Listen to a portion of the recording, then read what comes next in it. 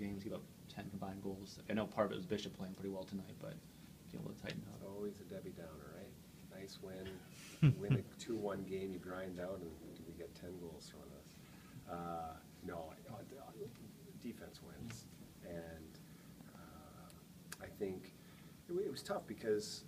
as dull as I thought the Toronto game was, we gave up four goals and sixteen shots,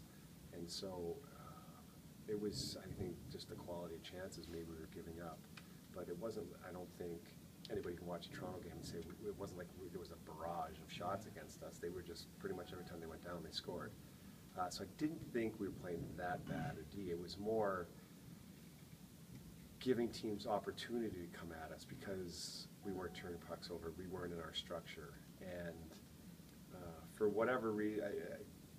you know, don't know the answer why that game played out the way it did, but